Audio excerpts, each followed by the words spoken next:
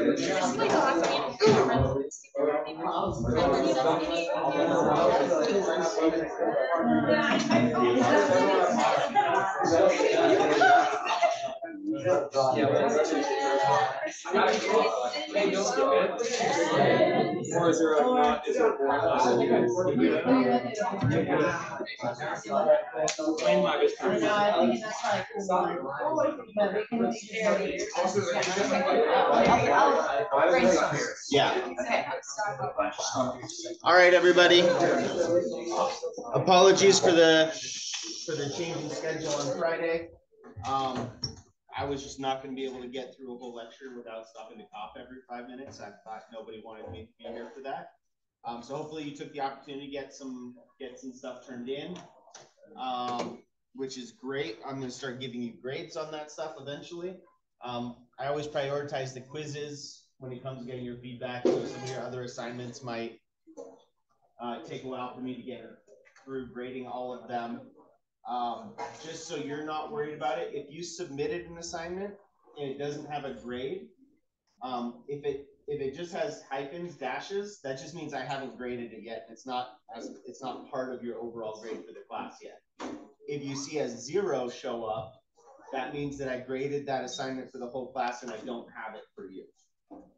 Um, and that, and then it is in your grade and affecting things. So if you think you turned in an assignment that you have a zero for, talk to me because we're not, yeah, there's a miscommunication somewhere. Um, it's either still in your backpack or you handed it to me on paper and it's in my backpack. Um, something's wrong there, but if you just see dashes, that just means I'm behind, which is normal. Um, random, I have not finished grading this week's quizzes yet, but I did go through and look at all the quiz questions to see if there's um, some that are relevant. Y'all have a lot of good questions about astronomy and the universe at large and consciousness. Those are all kind of big picture things. I do love talking about them though. Um, but just for so somebody brought up, I, I mentioned that when you mix salt and ice, that you get the temp- temperature drops. Um, and it's not really that the temperature drops, it's more that the melting point of ice drops when you mix a solution with um, ice and water. You wind up getting the temperature dropping, and that's based on basically you've added extra attractive forces between the, the water molecules that cause them to stay in the liquid phase longer. It's harder to get them to crystallize out because when they when it begins to crystallize, you don't have as favorable of interactions with those salt ions anymore. Uh, more on that when we get to talking about solutions more. Um, any of you who are looking at going into career medicine, how does chemistry related to medicine?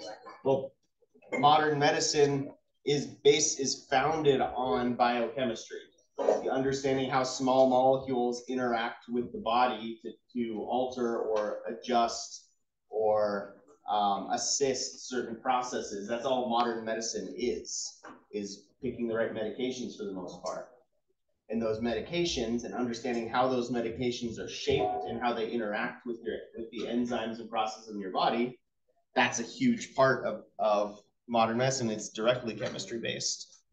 Um, antimatter, we'll talk about more when we talk about nuclear reactions. Turns out antimatter is really not to be confused with dark matter. That's a different thing.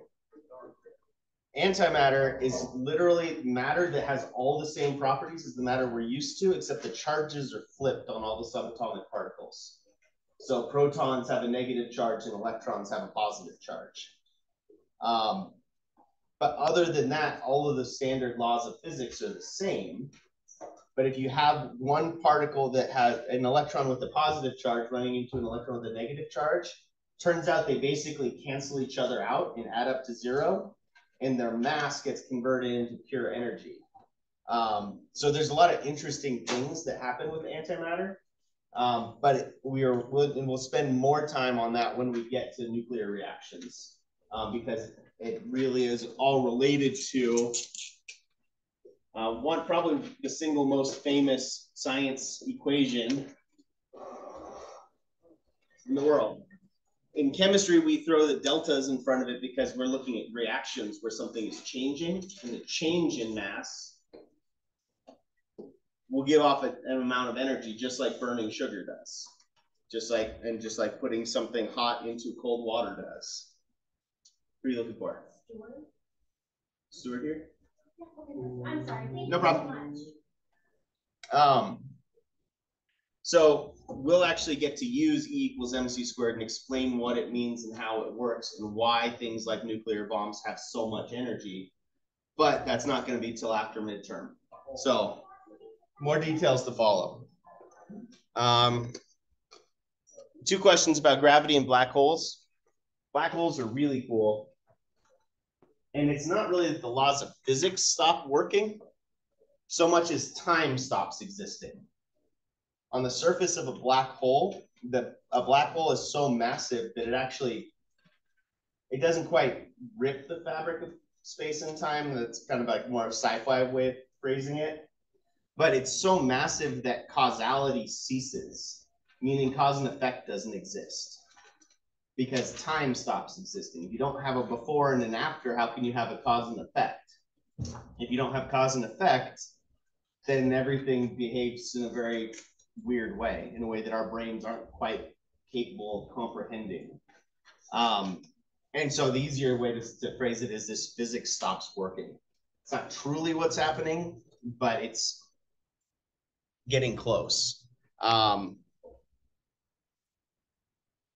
last, why does mass have gravity in general? Well, now we're getting into just that's the way the universe works. Um, the, the, the answer that's not really an answer is because of the Higgs boson. Um, but that doesn't really answer anything because why does the Higgs boson cause mass to have gravity? And the, the more true answer is just that that's the way the observable universe works to the best of our knowledge. We haven't found any case where that's not the way things are.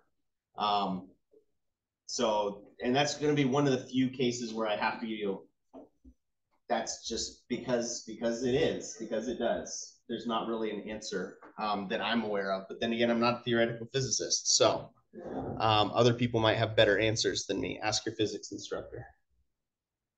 Is anybody is anybody taking the college physics right now? Not till next term. Jamie's a perfect person to ask about that. Um, Lastly, how does consciousness work? I really like this one because it lets me talk about emergent properties. And it turns out a lot of things about energy and chemistry are emergent properties. Anybody know what an emergent property is? It's when something when something kind of unexpected or difficult to predict happens as a result of lots and lots of small interactions or small changes. So emergent property might be something like like a solid existing in the first place. Solids only exist because you have lots and lots of tiny attractive forces between individual atoms or molecules. And when you get enough of those put together, you get something that's much larger than the original than the original pieces. Um, consciousness kind of works like that. It's sort of emergent properties of working upon emergent properties because life is an emergent property you start with just a bunch of random particles and molecules and give them enough time, they tend to arrange themselves in certain ways that replicate.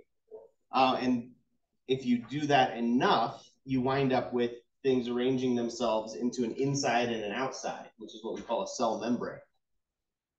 And so eventually, if you just start with raw matter, it eventually winds up turning into something that looks like a cell that's an emergent property. If you take enough of those cells and put them together, you get another emergent property, which would be something like a nervous system, where you have individual organs.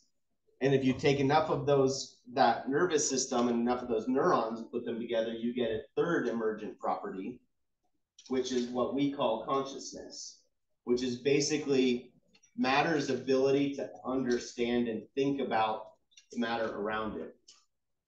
Or another way, the psychology way of putting it is consciousness is uh, self's understanding of of how how a being is both part of and apart from uh, its surroundings. So understanding that you are both part of the world and your own object, your own human, is what makes some gives something consciousness. Um, and it's the result of all these other layers of emergent properties. Um, and it's basically how does it how does it work? Well, we don't really know a lot of that. We can put together certain pieces of it. Certain chemicals affect the way we think. Certain gen- genes and genetic traits affect the way we think. How our consciousness works. Um, but it's really difficult because consciousness is also sort of a spectrum. Anything with the nervous system could be thought of as being slightly conscious, at least. But then where do you draw lines is what's truly conscious along the way. And it gets really, really interesting. That's why neuroscience is such a, a field that's blowing up right now. Neurology and neuroscience um, are both really, really big fields um, to go into. Lots of really interesting research is happening in those areas. More relevant stuff. What's the best way to start a difficult problem if I don't understand how to do it? If you don't understand how to do it, how do you know how to do it? You don't, not yet. But how do you know how to put puzzle pieces of a puzzle together? If you don't know how to put the pieces of the puzzle together. Try, trial and error. Trial and error is not a bad way to do it. You see what fits together. You start putting together, writing out. It's not, I know a lot of you have been taught when you see, do word problems, you just start by writing out everything that's in the problem, right?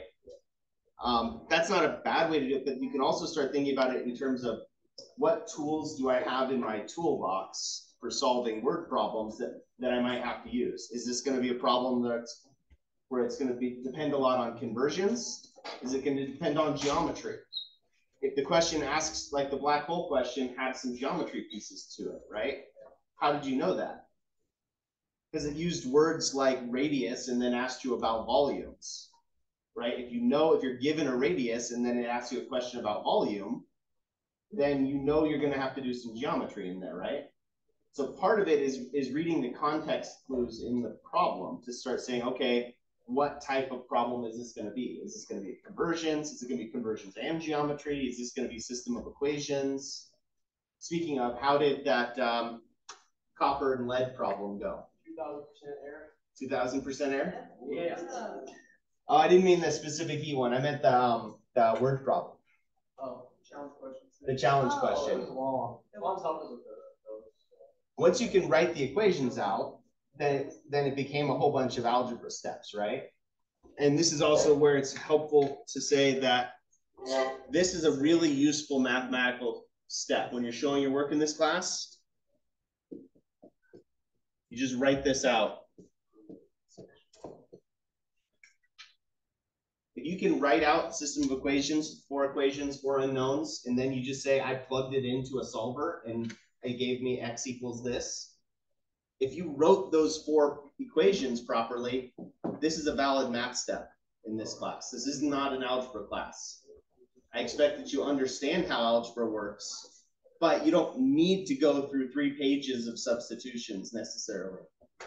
If you'd rather learn how to use the solver. The trick with the solver is you got to set it up right. So a calculator that has a solver, I like Wolfram Alpha which is kind of looks like a search engine, um, but it um, but it does math for you as well. Um, it's a great way to test your to uh, check your answers on your calculus and pre-calc questions because it'll also take derivatives, do integrals. Um, in this case, you basically you just have to write out your equations so that you use four different letters as your variables. So what were the four equations for that problem?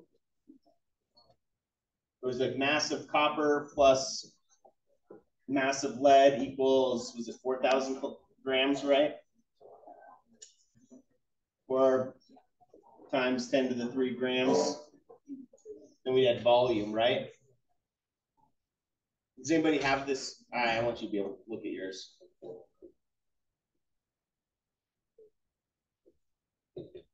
Is it four hundred and twenty-seven cubic centimeters? Yeah. And then what were the other two equations that we had to use? Math was four hundred and, uh, four thousand three hundred sixty grams.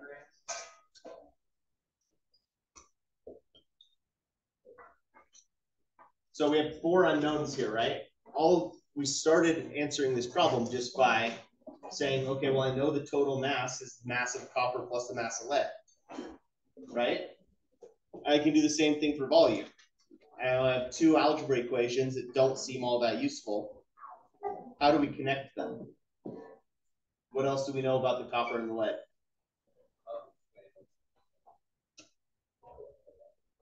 Is this not ring, is this ringing any bells? How many of you did this problem? Okay, the densities. The densities are the way to relate masses and volumes, right? So when you when you're doing a system of equations problem, when you're writing multiple algebra equations and you're going to try and solve them to get an answer, to get a value for one of them, you need as many equations as you have variables, as you have unknowns, right? So in this case, we have four unknowns, so we need a total of four equations. And the densities are going to be equations three and four, because we can say with 8.91 or just 8.9 and 11.34. I think grams per cubic centimeter.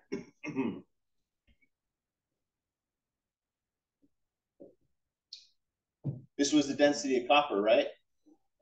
So that's going to be mass of copper over volume of copper. This is the density of lead, so mass of lead over volume of lead. I just added two new equations. They're things we already knew, but I wrote them out mathematically in a way that uses the same variables we used up here, right? Now we have four equations with four unknowns. This is the point where you could say start it instead of doing sub substitution will always work. You can, if you have a system of equations like this, you can always just start solve for one of your variables, plug it into one of your other equations. Repeat until you're you're done to, down to only one variable. Once you're down to only one variable, get a number for it, and then you can solve for the rest of them. That's the the longhand way of doing it, the brute force way of doing it. We take those same equations and we write them in here. I'm going to redefine my variables. Mass of copper equals M. Mass of lead equals N. Volume of copper equals X. And volume of lead equals Y. Just for the sake of putting it into the into the um, solver, that's going to make our life easier to redefine these variables in terms of something that's just a single letter. And so we can write M plus N equals, what was it, 4360, comma, X plus Y equals 427, comma, 8.9 equals M over X. 11.34 equals N over Y. Solve for M.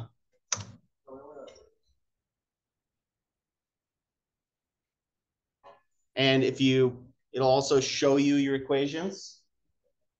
So make sure that you input them right so they all look right. M plus N is 4360. X plus Y is 427. 8.9 is M over X. 11.34 is N over Y. Solve for M.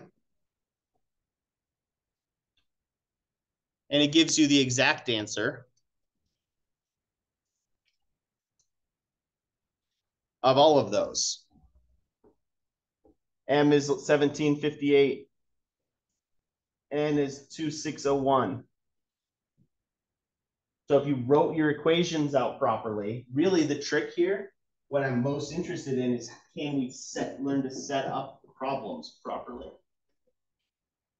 If you set up your equations, I don't care if you do it by hand, or if you use a solver like Wolfram Alpha, or if you use your calculator. Um, a lot of times what I would do to avoid having to type that or making mistakes there is I'd do some of the easy substitutions get it down to two equations, two unknowns. And as soon as the substitutions start looking really obnoxious, um, then I would find a solver. Um, but you can just start it just from right here. You should get, are those the same answers? Go ahead, who got an answer for the mass of copper?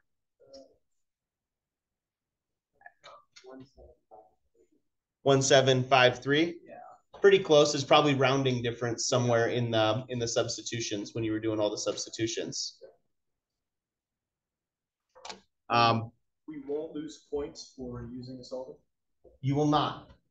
And I'm not gonna ask you to, ask you to do a system of equations on an in-class test. The take-home test, yeah, there's, the take-home final has a system of equations problem on it. But this is a valid step that you won't lose points for in this class. Ask your teacher. For classes that are more, that are more about showing that you know how to do substitutions, this doesn't work because they actually want you to show that you know how to do the, do it longhand, right? Um, but for this class, that's totally fine. And most TI eighty-nines have a solver that will be able to do this. Um, there's a couple other options. I think Desmos is a free solver online. I like Wolfram Alpha because the user interface works really well. Um, it's really easy to input stuff. Um, and it'll also do things like integration. So if you, or taking a derivative. So you can check your answers on some of your math homework. Um, don't just put your math homework, excuse me, put your math homework in there and then it, because obviously that's cheating, right? But checking your answers when you've already done the work. I guess ask your, your teacher if you, if they're okay with you doing that. But I don't, I think most teachers would be okay with that.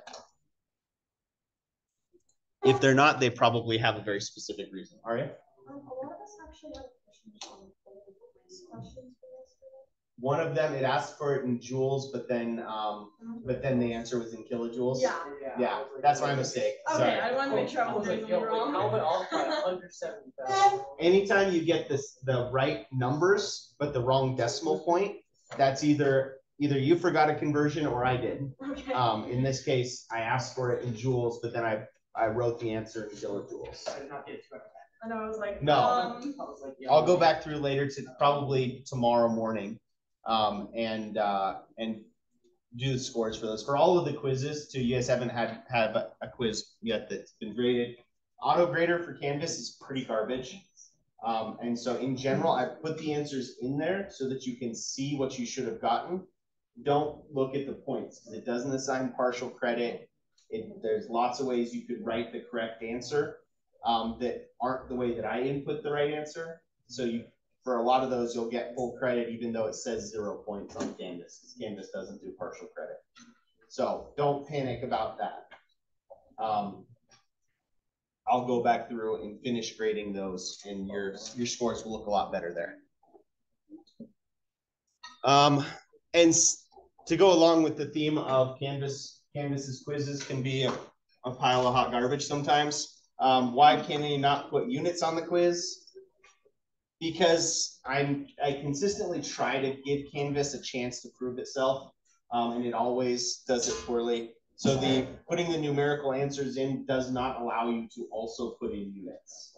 So if I'm gonna have an auto grader that actually shows you the right answer as a number, then it does, it won't let me use units, um, when I put that in there. I don't think I'm gonna use that very much, because I'll just go into write it like it's text. Um, and then just know that, that when the, the answer shows up, if you wrote, if you put a space in the wrong place, it'll show up as having the wrong answer. Like if you put, um, you know, hundred and thirty-seven thousand space joules, and I did not put the space there, and I just put hundred and thirty-seven thousand joules, it would mark your answer as wrong when it's obviously correct. Um, so when it gives you the option, write the units, it is important, I think I'm gonna just go back to that. Just know that the auto grader is gonna show it as being a wrong answer, but as long as it looks like the same thing I have written, it's at least mostly a correct answer, so don't second guess yourself on that too much. Um, and then some questions about the quiz or the uh, lab. How do we do? How do we get a more accurate answer? Well, one, there were a lot of places where that lab could kind of fell apart, right? Um, we made some assumptions in that lab that might not be great assumptions. Can Anybody think of some, a place where we might have had a source of error? Jesse? This goes in the copper to the air temperature. Yeah, the, the period of time between when you took the copper out of the hot water and then dumped it into the cold water, it lost some energy along the way, right? So that's definitely a source of error. It wasn't a perfectly uh, perfectly closed system, right? And plus, the the cup itself had to heat up too, right? We assumed that the only thing we were heating up was the water in our calorimeters, right? We had to heat up the cup itself too, right? So there's a lot of places where we can we could do a better job of taking some of those other numbers into account and to get better numbers. And the other way we do it is just by doing it instead of doing it two or three times and averaging the answers. If you did it, say a hundred times and averaged all the numbers, you could have a lot more sig figs and be a lot closer. Um, but there were a lot of pla- a lot of room places where you could have messed up and, and where there's room for improvement. Um, the main thing for this lab wasn't getting the right answer; it was understanding the process and how the, what the assumptions were in terms of water warms up, we can calculate Q. If we can calculate Q, we can calculate CP. Understanding the process was the most important thing. Um, which we, we frequently see lab, chemistry labs like that because there's a lot of, um, a lot of, well, that's good enough, it's gonna be within sig figs types assumptions that we make in these labs, um, just so we can do some of these experiments. Um, negatives when it comes to heat, basically, if something comes out with a negative value for Q, that just means its temperature decreased because the mass can't be negative. If you look at the pieces of Q, if Q is negative, one of these three has to be negative, right? Mass can't be negative. You can't have a negative grams, right? Specific heat we're thinking about, but I did I did specifically say last week specific heat should never be negative. Which means if Q is negative, the only thing the only reason it could be negative mathematically is because your delta T was negative, your temperature dropped. And if your temperature dropped, that means the object lost energy, right? If it lost energy, that energy had to go somewhere else. So a lot of times with these, I don't pay too much attention to the negative because I'm more interested in energy absorbed or energy released. Right, so you could say negative 173 kilojoules, or you could see say 173 kilojoules lost or released. Those mean the same thing. We're just using a qualitative object or not a qualitative term, a a value word almost instead of using a negative sign, but it means the same thing. Um, a lot of times this negative sign just depends on what's your frame of reference. And that can be, it's a lot of times it's more helpful to talk about it in, in words like this than it is to just use the negative sign. Because using these words like this are going to be how you understand what's actually going on. The negative sign, you can misinterpret that a lot easier, in my experience. All right, other questions about the quiz, or sorry, about the lab?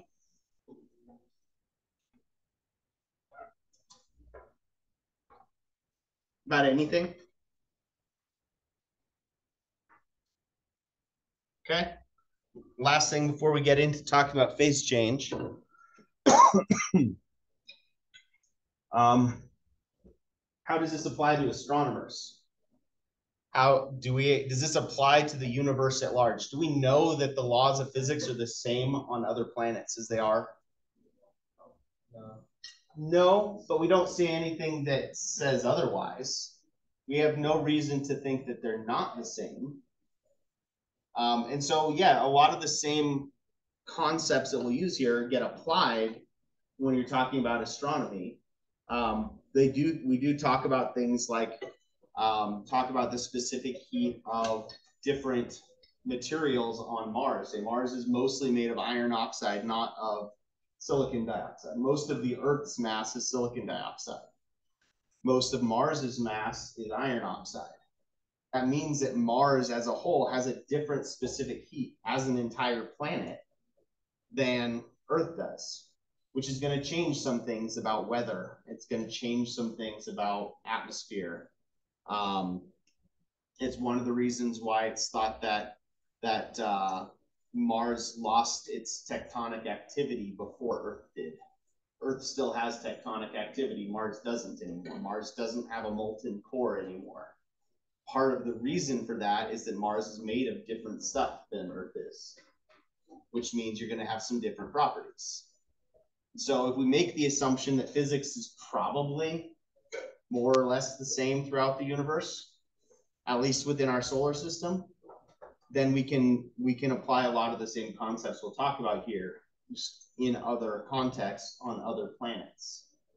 Um, and because I like talking about space too, I do tend to bring up things where you know we'll we'll have a bunch of different um, concepts were like, well, we have this set up based on Earth, but the same concept applies a little differently if we're on a different planet.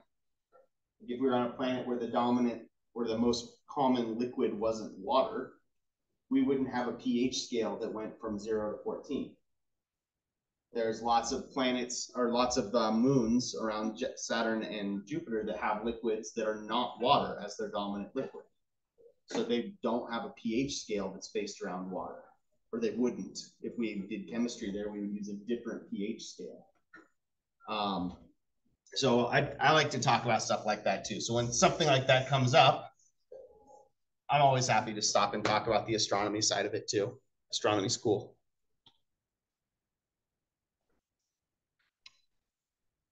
All right. Let's talk some more about energy.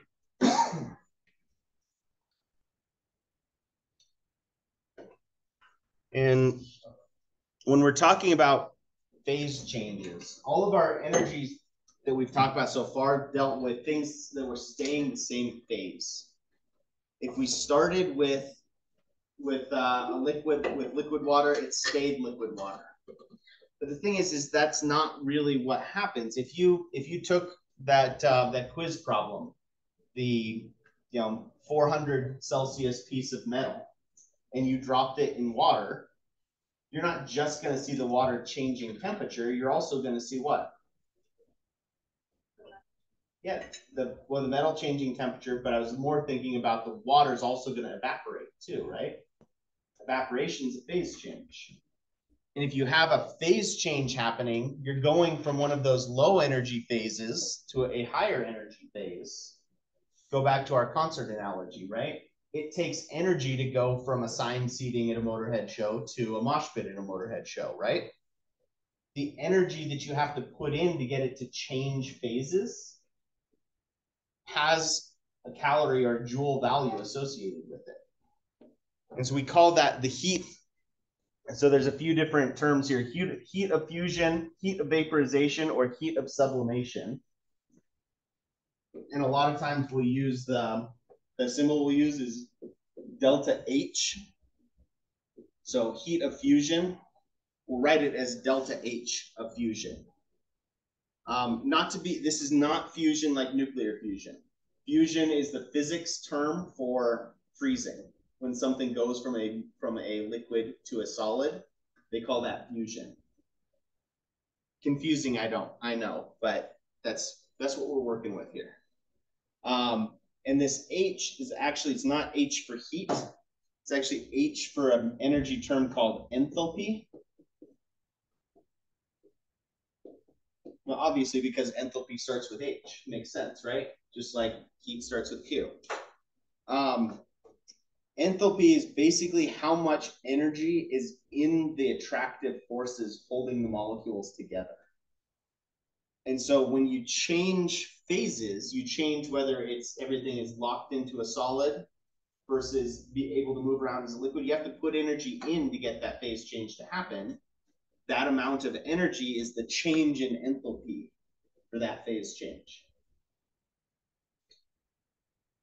All right, and then um, so the other the other versions of delta H vaporization is the energy of evaporation.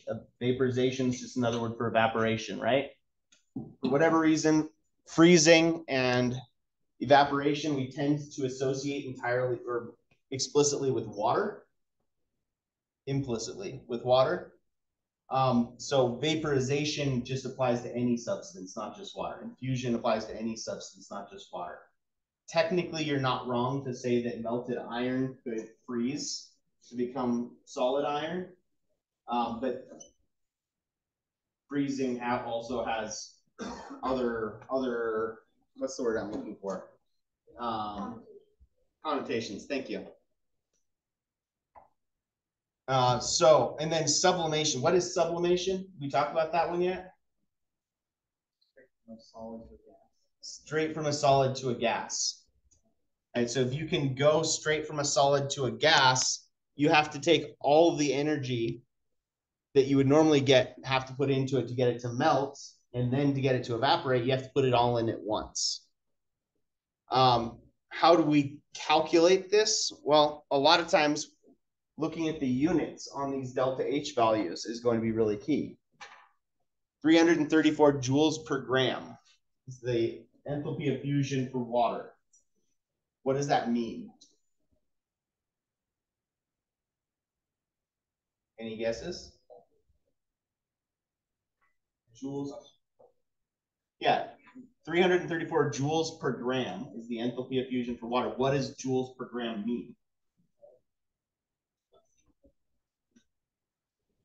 Jesse? How many joules it takes to heat up one gram by one Celsius? Close. So that'd be the specific heat. So the specific heat, and again, we're using the word heat all over the place, right? It's really confusing. We're not looking necessarily at a temperature change. This is a phase change now. So there's no, that's why there's not joules per gram degree Celsius. It's just joules per gram. So what this actually means is if you're going to melt one gram of ice at zero Celsius, and turn it into one gram of water at zero Celsius, you have to put in 334 joules. So that seems like kind of a big number considering the numbers of joules we were dealing with last week, right? 334 joules is, is a lot considering water has a specific heat of 4.184 joules per gram degree Celsius. It takes a lot more energy to melt ice than it does to, to heat up cold water which sound, seems backwards, but we'll actually see some examples of this. Maybe that would be a good lab if we're if we're behind next week. Maybe we could do a phase change lab where we have them watch watch water melt or watch ice melt. Um, it's literally what the lab is, but then you measure some stuff too. Um, so here's an example. You add 15 grams of ice to a glass of warm uh, room temperature water how much energy does it take to convert all of the ice to water?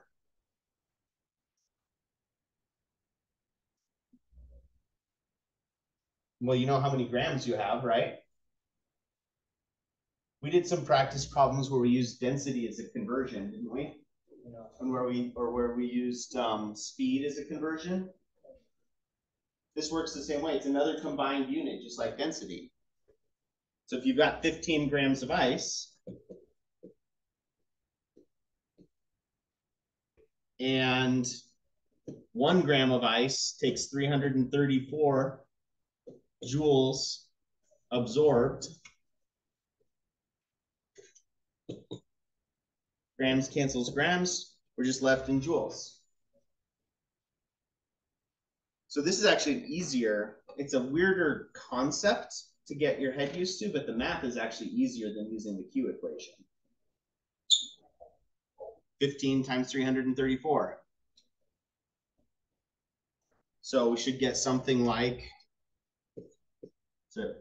4,800 or so.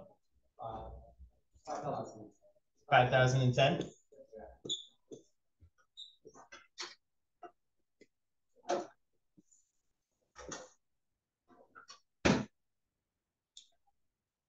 How many sig figs do we keep here?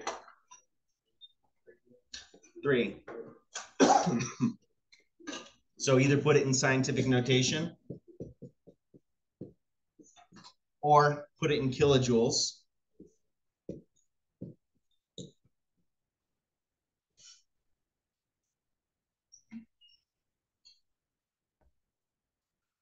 Let's do the calorimetry step. If all of that energy came from the warm water, let's say our mass of warm water is, it's a good amount. Um, let's say it's a pint glass, so let's say it's five hundred and thirty-four milliliters.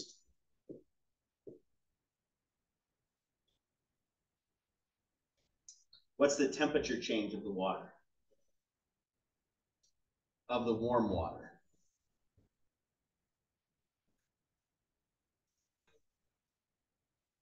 Well, we know how much energy got absorbed from the warm water, right?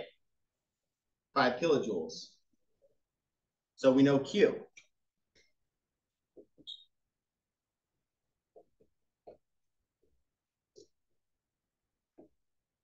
And that's energy lost. So we throw a negative sign in there. What's the specific heat of water?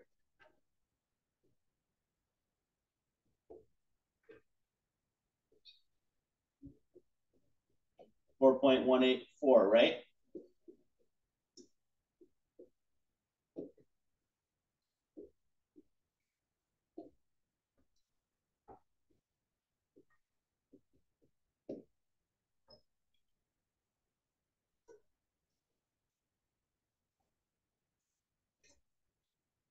So what assumption are we making in order to do this? We're assuming, excuse me, we're assuming that all of the energy that melted the ice came from the warm water. In other words, just like with the with the hot metal versus the cold water before, where we said Q1 is equal to negative Q2, right? We're doing the same thing here when we plug it in, get something like 5.01, 10 to the 2 joules equals 534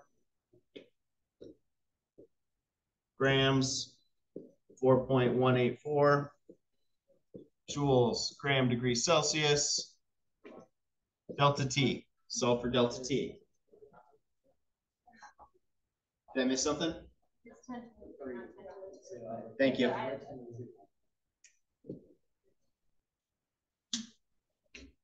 Just a typo.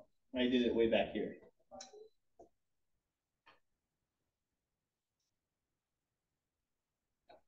So five thousand divided by five hundred is gonna be about ten divided by another four, something in the two degrees range. Single digits, I would say, for delta T. Just with my mental arithmetic. Yeah, probably pretty close to two. Nobody's gonna correct me?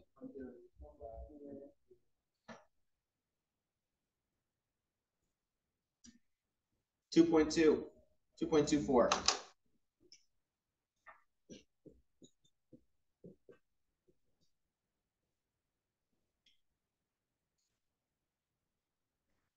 Alright, so that's not relevant to the question that's on the screen. I just wanted more practice for, with us using Q.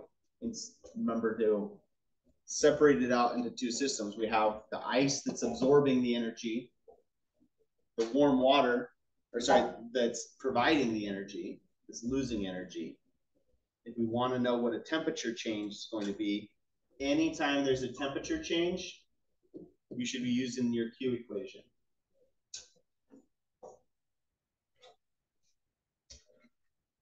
Which ties into the next point.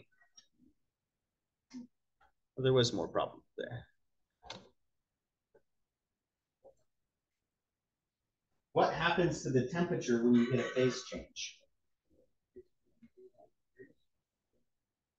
Seems like it should increase. Turns out actually, when you actually have a system that's undergoing a phase change, it'll actually stay at a constant temperature. Which seems like that doesn't make sense, but then think about boiling water.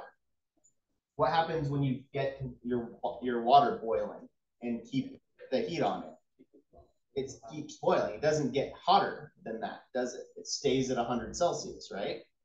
Or up here in the mountains, about 94 Celsius. Why is that? Because when you get to the point where the water starts boiling, all the extra energy that you're putting in is not changing the temperature, it's just going to the phase change. Basically, at atmospheric pressure, you can't have water above a certain temperature as a liquid. So when you try to heat it past a certain temperature, it just evaporates instead.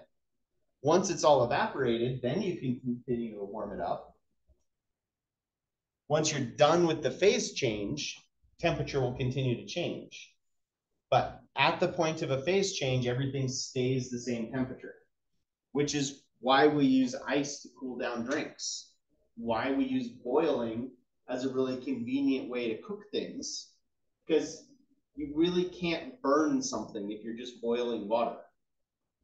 And you, it's pretty easy to burn, like, I don't know, broccoli. You can roast broccoli in the oven. It tastes really, really good. It's also really easy to burn it. It's really hard to burn broccoli if you put it into boiling water, unless you just straight up run out of water. You put on your boil your broccoli to boil, and then you go, you know, I don't know, go read a book or something for a while, and come back and all your water's gone. Then it can, you can burn it. But until you run out of water, everything's going to stay at 100 Celsius, so you can't burn your food really which is also why it takes longer to cook food up here because our boiling point is not as high, right? It doesn't seem like it's a big difference, 94 Celsius to 100 Celsius. Um, but it actually, when we start talking about reaction rates in Gen Chem, um, it turns out a small change in temperature, the effective temperature and a reaction rate is actually exponential. So a small change in um, a small change in the temperature is going to have a really big impact on the rate of a reaction. Boxed pasta is a really good example of that up here. It takes way longer to cook boxed pasta up here than it does at sea level. Say two, if it says 12 minutes on the box, we know it's really going to be more like 15, 16, 18 minutes. Um, Kraft macaroni and cheese does a pretty good job. And at, when I was a high schooler, that was about the extent of my cooking experience. Um, but even Kraft macaroni and cheese will still be a little al dente at 12 minutes. If you cooked it 12 minutes at sea level, it would be overdone by pasta standards.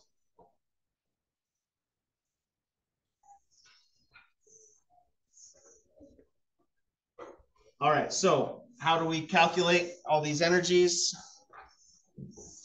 Well, we just did an example. If you have the delta H of fusion, all you have to do is you figure out how much of your, your substance is going to go through a phase change, and you just do that one step conversion.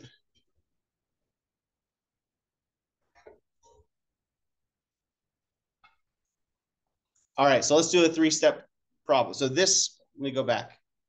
This graph over here is called a, a heating curve or a cooling curve, depending on which way it's going. It's always going to look the same for water. Sometimes just the, the direction is backwards.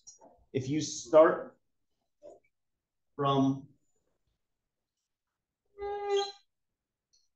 well, basically what it's, what it's actually showing is as you remove energy from steam, it cools down until you get to the condensation point, which is the same as the boiling point.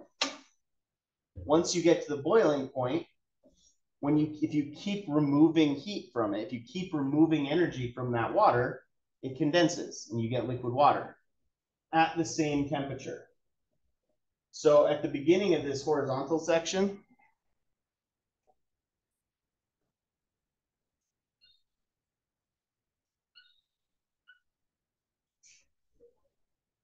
at that point right here, we had steam at 100 Celsius.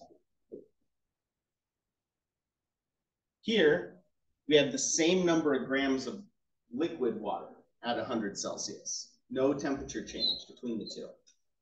So these horizontal sections on this graph are showing you the phase changes. and what temperature you can expect to see them. And down here, this would be zero Celsius. So what do we have at that point that I just circled? What does the system look like?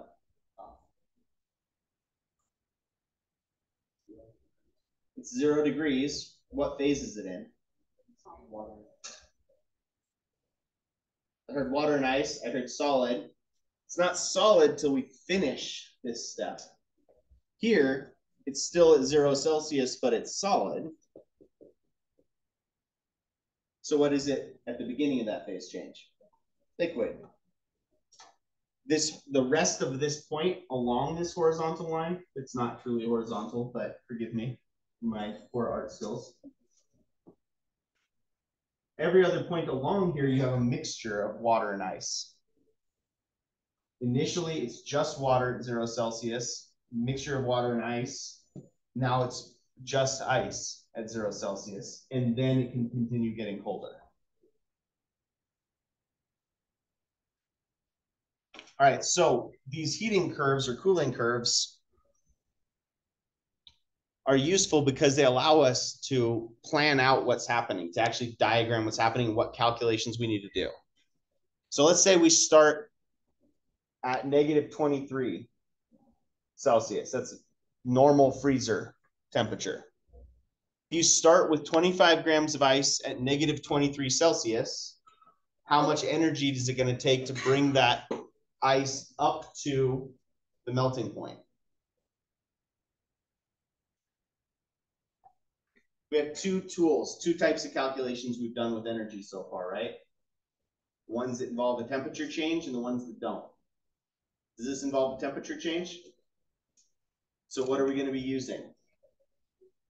Q equals mass, specific heat, delta T. We know everything except for Q, right?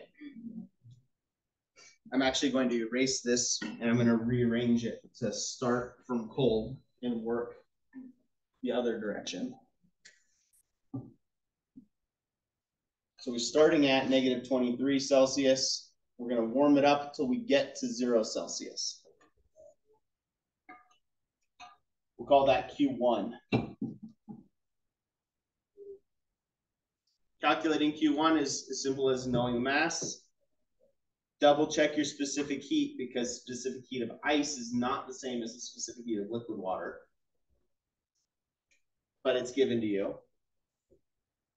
So mass is 25 grams. CP is 2.11 joules per gram degree Celsius. What's delta T?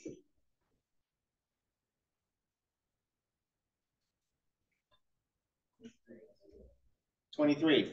Final minus initial, so zero minus negative twenty-three. It went from negative twenty-three to zero. So.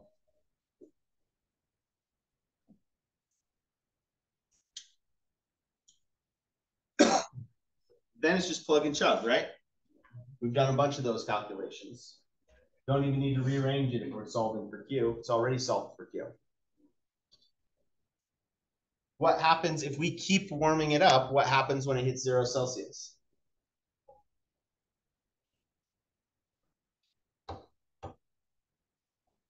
It melts, right? So on our heating curve, we get a horizontal section. That's going to have its own Q value. It takes a different amount of energy to melt the ice as it did to warm up the ice.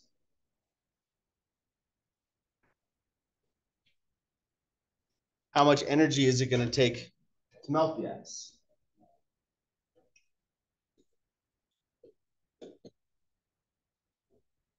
Well, we've got joules per gram and we've got grams, right? We did it with 15 grams before.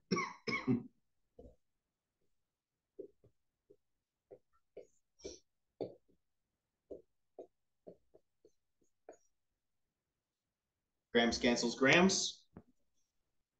All we all we need is our delta H of fusion. Except delta H of fusion was for freezing, right? going from a liquid to a solid. Can we use it for melting as well? See some heads shaking, some heads nodding.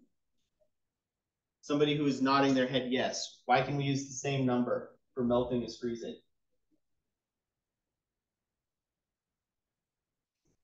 It's the same but in reverse, right? All that changed is the sign. It's either energy absorbed or energy released. If ice is melting, are we putting energy into it or taking energy out of it? You gotta put energy into it, right? So we can put a absorbed to indicate that the energy is going into the ice. Yeah, for all of these delta H values, the, they have the same value with the opposite sign for going backwards. So there's a delta H of vaporization. Condensation is gonna have the same number, but with a, with a negative sign attached to it.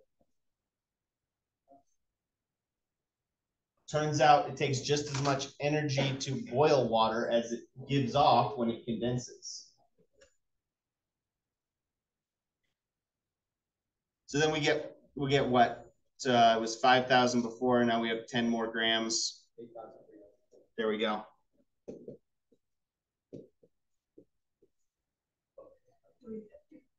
Three fifty.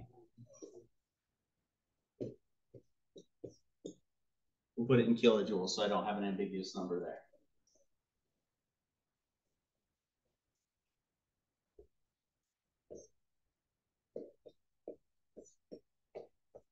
We'll show our work for that conversion too, just for the sake of of showing all those conversion steps.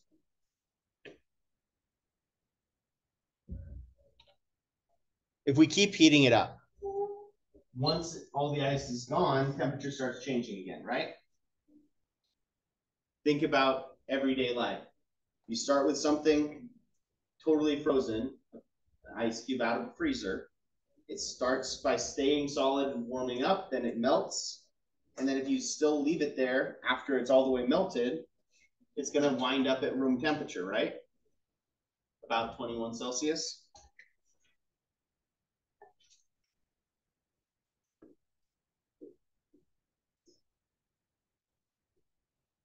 How do we calculate Q3? Same thing we did here, right? Q1 and Q3 are gonna both be the same process. The only thing that changes is now we're liquid water, so we use the other CP, and we have a different delta T. But we're still just using our Q equation, right? Still 25.0 grams. Now it's 4.184 joules per gram degree Celsius. And delta T is 21 degrees Celsius.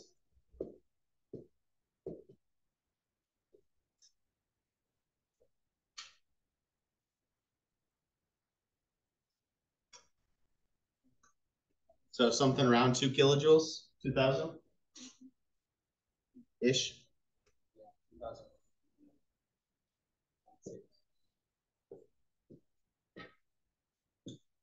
Or for our sig figs, two point one, two point two oh kilojoules.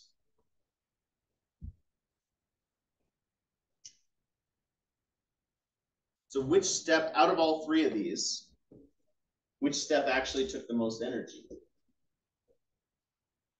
I guess what was Q1? What was the final answer as a number for Q1? A little louder. I heard a number. Twenty-five times two is about fifty times twenty-three. Gonna give us something, One thousand two hundred.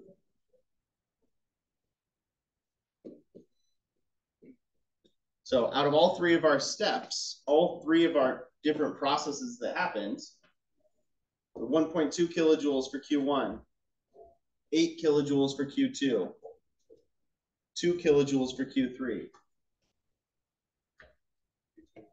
Q2 took the most by a long shot, right?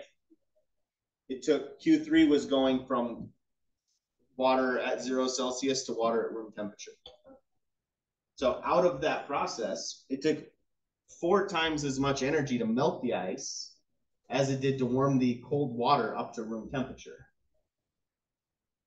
Phase change has a lot of energy associated with it. Again, this is one of the reasons why ice is is really useful for cooling down drinks.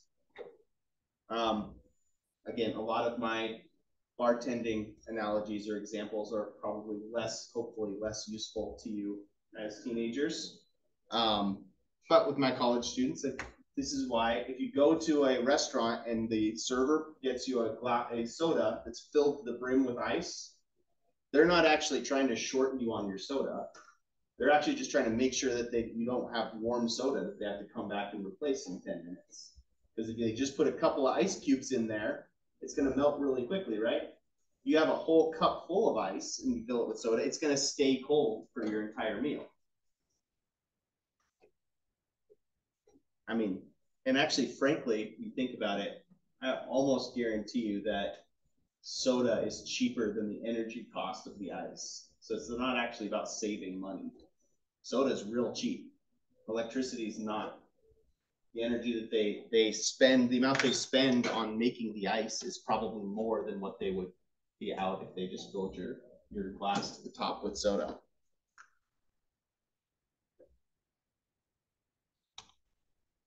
All right.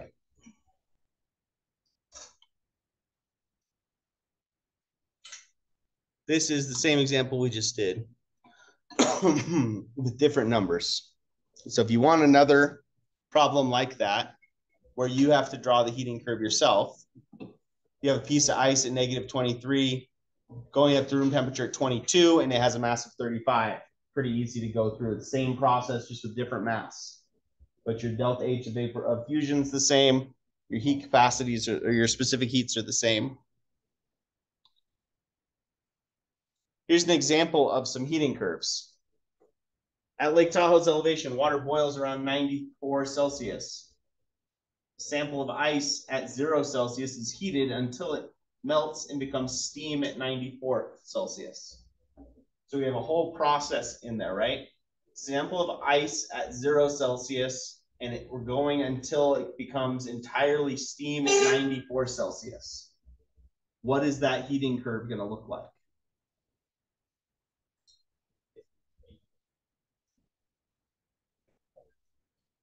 B? Well, how many phase changes do we have in this description? We start as ice at zero Celsius. What has to happen to get it to steam at 94 Celsius?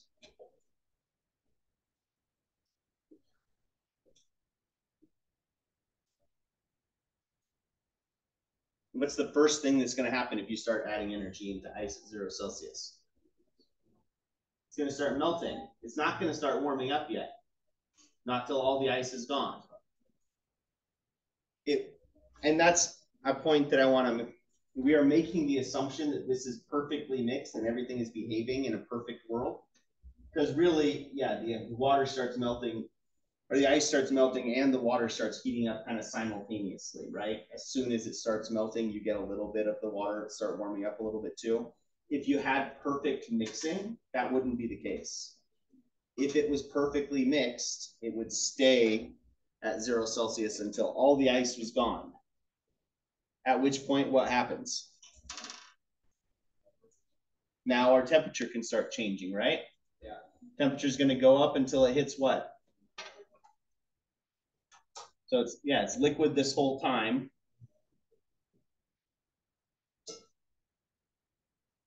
Solid to liquid. Temperature change from zero up to 94. If we were at sea level, it'd be going all the way until it hits 100, right? Our boiling point is at 94 Celsius. Once it's 94 Celsius, what does it do? Boils. And then when it's done boiling,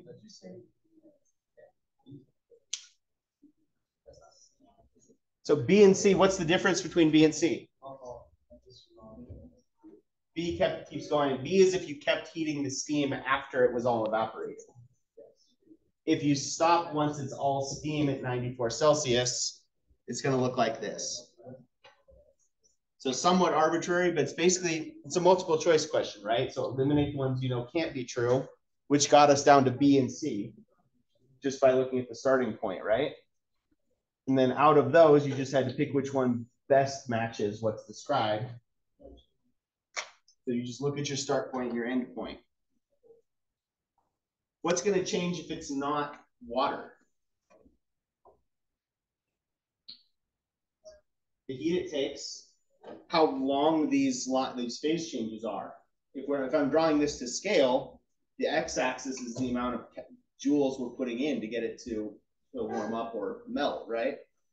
We change what the substance is, it's gonna have a different delta H effusion. And it's gonna have a different specific heat, which means the slope is gonna change here. What else is gonna change? The amount of heat's gonna change, the slope's gonna change. Bingo, our boiling point is gonna be different and our freezing point is gonna be different. Ethanol, for instance, freezes at about negative seventy Celsius and it boils at seventy-eight Celsius. So that's gonna have a much longer region where it's liquid. And your phase changes are going to be at different intervals. But the same overall shape is gonna be true for everything. Everything has a heating curve that looks more or less the same. The only thing that's different is where do you see the phase changes? And on terms of the y value, and what do the slope and the lengths of these lines look like? It's always gonna be warm up, phase change, warm up, phase change, warm up.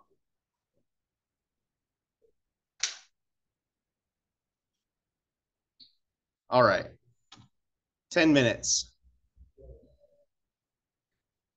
Normally, this would be a time where I would just say we should, we should just end it there because that's a convenient place to stop. Except we need to make, make up for lost time. So you're gonna see this twice. I will go over it more quickly on Wednesday. Um, but we're gonna talk about atomic theory a little bit more. Actually, this is already your second time seeing this, right? We talked about the history of, of atomic theory. Dalton was the one who came up with the idea that we had these tiny in- indestructible particles, and we talked about how we actually need to amend this already. One of the ways that they needed to amend this came almost immediately. Dalton put this put this forward in uh, probably the early 1700s. Ben Franklin was one one of the people that did some research that that went into um, revising this, and that would have been before 1800. Because Ben Franklin, I don't think he lived past 1800, did he? Who's taken their American history more recently than me? When did uh, anybody know when Ben Franklin died? It was in the 1800s. It was early because he was already 1790. Thank you. He was already old, and during the uh, Constitutional Congress. 84. This means he was he was in his 70s when he helped write the Constitution. All right. So more more to the point though, not Ben Franklin. This was a guy um, named Thomson in Scotland. Came found a way to measure what he called cathode rays. And what Thomson found is that if you if you took this what they call the vacuum tube, which is just a tube of glass that's almost entirely empty. Um, if you took two pieces of metal at either end of the of the vacuum tube, you applied a voltage to them, you got these tiny little particles flying from one end of the tube to the other. Um, and there were a couple things they were able to measure about them. They traveled in straight lines. They had a negative charge. They were 2,000 times smaller than hydrogen, which was already known to be the smallest um, element. And they were identical no matter what was used. So are they connected to CRT television? Yes. Good question. so a cathode ray tube, um, basically by, by using a magnetic, if it has a, if it naturally travels in a straight line and has a neg, mag, blah, blah, blah, it has a negative charge, you can influence where it flies by using a magnetic field. So if you apply a magnetic field to this, you can get these little particles to fly in wherever you want in two dimensions. A, a CRT monitor, an old TV, um, they also they used to call them, um, they they still call them vacuum tubes, um, but basically it's just that piece of glass with a with a bunch of stuff on the inside that will glow when one of these particles would hit it. So you can get a black and white picture just by using magnetic fields to direct where these particles fly. And then if you do something um, clever and instead of having just a one even film that glows white when it gets hit with one of these particles, you have really, really small dots that will glow either red or green or blue, depending on which of the three dots gets hit, then you get a color TV. Um, so really, really clever engineering. But what are those particles that are flying around? Well, they're smaller than atoms. How does that work? I just didn't I just say that they're tiny indestructible particles and that's the smallest thing that you can have? So basically what we immediately showed right after coming up with the atomic theory is that it can't be totally true because there's something smaller than atoms. And these are what went on to be called electrons. Basically, what Thomson discovered were electrons. So that's actually what a CR, an old CRT TV or a monitor would actually do, and why it was actually. They used to say um, when I was growing up, "Don't sit too close to the TV because it'll ruin your eyes." That actually used to be true because not all of the electrons would get captured by by the screen, and you would actually be firing high energy electrons into your eyes um, if you sat too close to the TV for too long, or at least that's what they thought. It was a pretty small, insignificant amount. It wasn't actually causing cancer, ruining people's eyes, probably, but it wasn't good for you. Um, LED TVs, you don't need to worry about that at all. So it's less of an issue now. Um, but here was the key. Atoms we thought were the smallest pieces, but they're actually made of smaller building blocks. And those smaller building blocks have a name these are what are called electrons, but just in general, what we're going to talk about on Wednesday are called subatomic particles.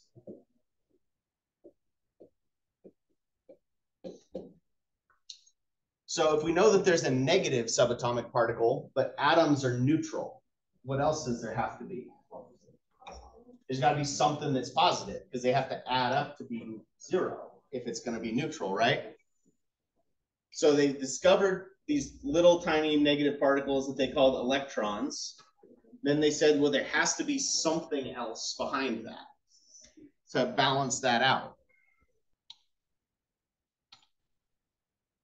And so um, Thomson's Thomson's student came was named Rutherford.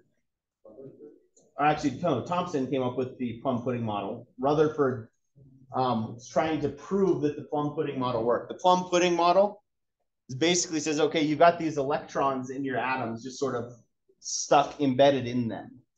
Uh, they called it the plum pudding model after a what sounds to me to be a pretty gross dessert from England um, called the plum pudding, which is in the U.S. we call it a fruit cake um, which is basically just a baked mass of dough, a batter with a bunch of fruit embedded in it. So he said, okay, well, it's like it's like a plum pudding. You've got the electrons that are just stuck in the cake like um, like plums in a plum pudding. And if you apply enough voltage, you can get those negative those negatively charged electrons to fly out.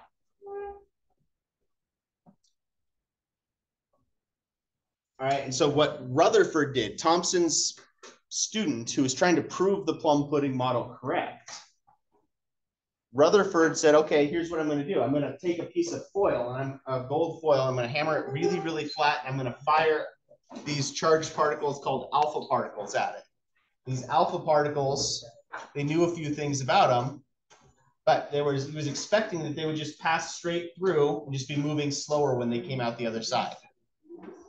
And what he found was something totally different than what he expected. And we'll talk about what that was on Wednesday.